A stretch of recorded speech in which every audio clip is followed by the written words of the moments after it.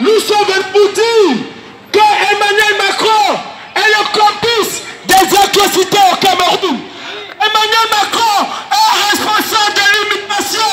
Vous ne voulez plus nous voir chez vous, alors dites avec le putain de président de libérer l'Afrique. Macron libère le Cameroun. Macron libère le Cameroun. Macron est complice des atrocités au Cameroun. Macron est complice du génocide au Cameroun.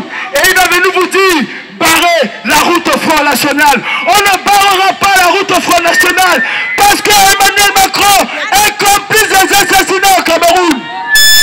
Parle bien Macron Parle bien Macron Parle bien Macron Parle bien Macron Emmanuel Macron C'est le démon de la France Oui Je le dis haut et fort.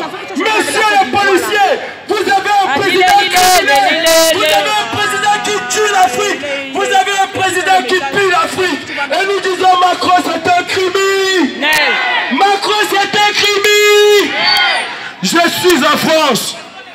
Je suis en France. Et en France, si tu es l'ami, je dis juste l'ami d'un terroriste, tu es considéré comme terroriste.